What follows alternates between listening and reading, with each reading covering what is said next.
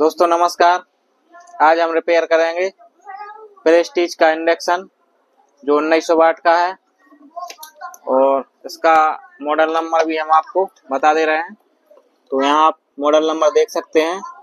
P I C one point zero V two. ये इसका model number है और यहाँ ये लिखा भी है उन्नीस सौ वोट तो दोस्तों, इसमें दिक्कत ये है कि हम यहाँ पे प्लग लगा रहे हैं पावर बोर्ड में। तो यहाँ पे कोई भी, यहाँ पे कोई भी स्क्रीन या डिस्प्ले नहीं आ रहा है, ना ये चालू हो रहा है। तो इसको खोल लेते हैं और हम इसकी टेस्टिंग करेंगे। तो दोस्तों, हमने इसकी स्क्रू खोल लिए हैं। और इसकी ये कॉयल भी हम खोल देंगे ताकि हम इसमें काम कर सकें। दोस्तों, हमने इसके तीनों स्क्रू खोल लिए हैं। और इसके हम ये पिन भी निकाल लेते हैं सेंसर वाले। इसमें दो सेंसर लगे हुए हैं।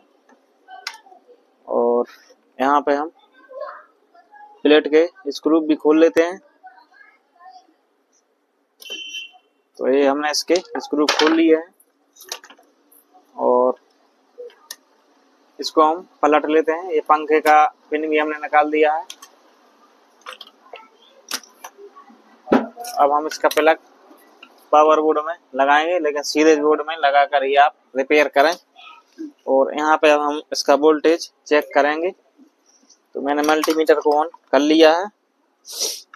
और सबसे पहले हम इसकी जो मेन लीड है, यहाँ पे दोनों पिन लगे हुए हैं। लेकिन दोस्तों, ये ध्यान रखें, इसमें इंडक्शन कोई भी, कोई सा भी हो, पूरी प्लेट में इसमें करंट आता है तो उसका ध्यान रखें। तो यहाँ पे हम ये मेन लीड आई है जो, उसके वोल्टेज हम चेक कर लेते हैं तो आप देख सकते हैं 245 वोल्ट यहाँ पे शो कर रही है। तो इसकी लीड एकदम सही है।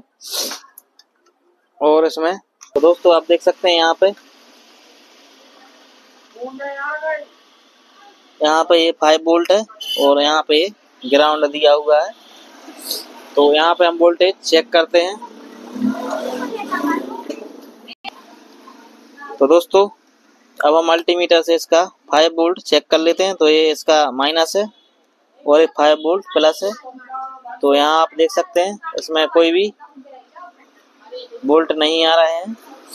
और जो फ़ैन वाला पेन है, इस पर इस पर भी हम चेक कर लेते हैं कि इस पर कोई बोल्ट आ रहे हैं या नहीं। तो जो फ़ैन वाला पेन रहता है, उस पर अठारह बोल्ट आते हैं। तो यहाँ पे आप देख सकते हैं, सिर्फ़ दो वोल्ट शो कर रहा है। तो इसमें अठारह वोल्ट जब तक नहीं बनेंगे, तब तक इसमें फाइव वोल्ट भी नहीं बनेगा। तो दोस्त, दोस्तों, यहाँ पे हम ये कैपेसिटर लगा हुआ है जो, ये साढ़े चार सौ वोल्ट का। इस पर वोल्टेज हम चेक कर लेते हैं, इस पे डीसी वोल्ट आते हैं, तीन सौ के समथिंग तो यहाँ पे हम ये लगा हुआ है कैपेसिटर जो हम बता रहे थे अभी। तो यहाँ पे आप देख सकते हैं 336 वोल्ट आ रहा है और यहाँ पर भी आना चाहिए। यहाँ पर भी आ रहा है। आप देख सकते हैं। लेकिन दोस्तों, वोल्टेज ना बनने का कारण ये है कि इसकी जो ये वाली आईसी है आप देख सकते हैं। इसका नंबर भी आप देख पा रहे होंगे कैमरे में। ए आई सी खराब है और ये यहाँ पे मिल नहीं रही है। इसको निकालते हैं हम पहले और यहाँ पे हम ये वाला पावर मॉड्यूल लगाएँगे। ऐसी वीडियो आप यूट्यूब पर पहली बार देख रहे होंगे कि इसमें इंडक्शन में भी ये मॉड्यूल चला सकते हैं। तो दोस्तों, सबसे पहले हम उस आईसी को डिसोल्ड करते हैं।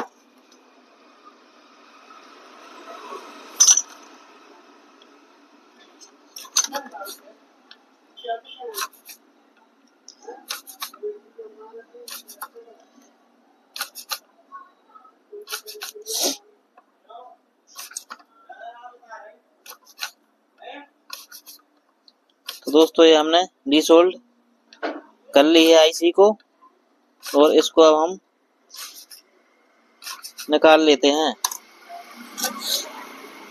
इसको हम बाहर निकाल लेते हैं। तो ये आईसी मैंने निकाल ली है।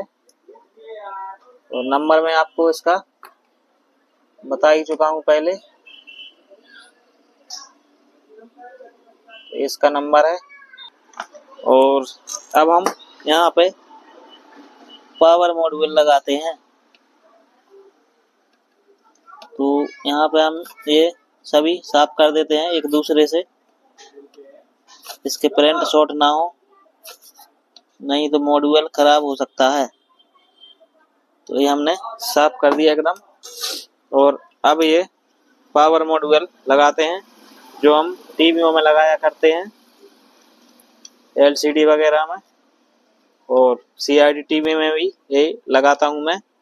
तो मेरे दिमाग में आया कि इससे भी काम इसका बन सकता है। तो हमको ये कैपेसिटर लगा हुआ है। ये वाला साढ़े चार सौ वोल्ट वाला। इस पर माइनस में हमको ये पेन ये मतलब वायर लगाना है ब्लैक और प्लस में रेड वा, ग्रीन वाला। तो यहाँ पे हम वायर लगा लेते हैं। ये इस तरफ़ है इसका जो, ये माइनस है, आप देख सकते हैं। ये माइनस है, वाइट पट्टी है कंडेंसर पर।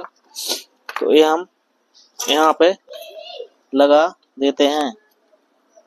और दूसरा जो ग्रीन वायर है, वो हम यहाँ प्लस पर लगा देते हैं। और तीसरा जो रेड वायर है, वो हम यहाँ पे लगाएँगे, जहाँ आईसी के चारों लेग एक साथ शॉर्ट होते हैं, आप देख सकते हैं। यहाँ पर पूरे चारों के चार लेग्स पेन इसके शॉर्ट हैं। तो आप यहाँ पे लगा सकते हैं या फिर यही प्रिंट यहाँ पे गया हुआ है। तो यहाँ कहीं भी आप लगा सकते हैं रेड वायर तो ये हमने लगा दिया है दोस्तों, यहाँ पर।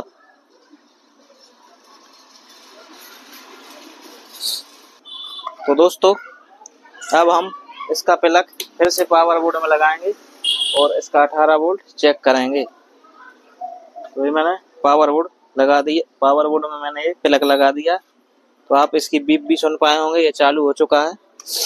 और इसका वोल्टेज है जो हम चेक कर लेते हैं अठारह। तो यहाँ पे हम अठारह वोल्ट इसके चेक कर लेते हैं। तो यहाँ पे मैंने मल्टीमीटर का पिन लगा लिया है। और अब हम यहाँ से यहाँ पर आप देख देख सकते हैं डिस्प्ले भी चालू हो चुकी है और इसे हम ऑन करते हैं। ये ऑन कर दिया मैंने और यहाँ से इसको दबाते हैं बटन। तो आप देख सकते हैं यहाँ पे पंद्रह वोल्ट आ रहा है। तो हम सप्लाई से इसको बढ़ा भी सकते हैं। थोड़ा हम इसका वोल्टेज बढ़ा देते हैं यहाँ से। इसमें ये एडजस्ट करने के लिए प्रीसेट दिया हुआ है। तो हम फिर से चेक कर लेते हैं।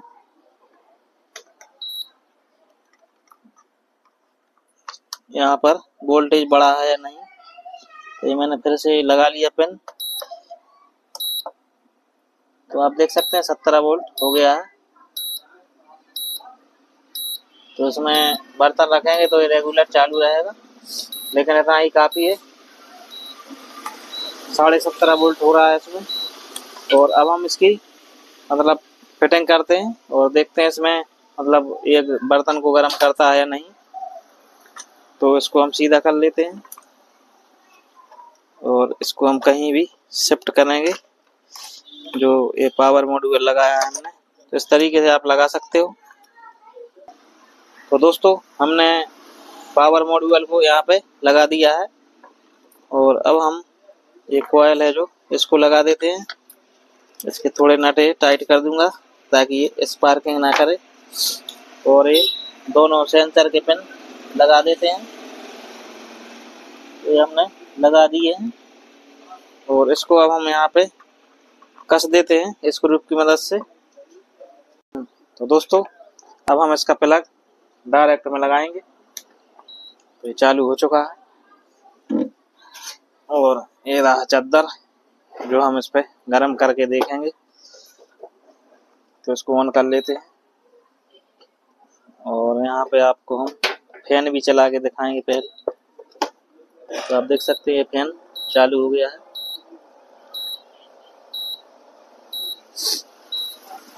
और अब हम ये चादर है जो लोहे का, ये गरम करके दिखाएँगे। आपको दिखा सकते हैं। पानी डालेंगे इस पे। देखिए, बहुत ज़्यादा गर्म हो रहा है,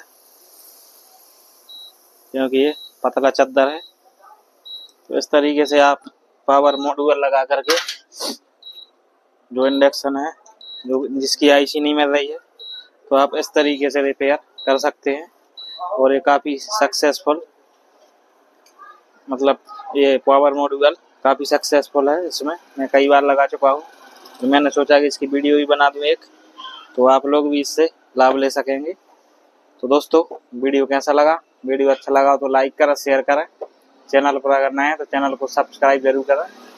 साथ ही बेल नोटिफिकेशन को ऑल पर सेट करें ताकि आपको आने वाले हर वीडियो वीडियो का नोटिफिकेशन मिल सके। तो दोस्तों, मिलते हैं अगली वीडियो तब तक के लिए नमस्कार, जय हिंद।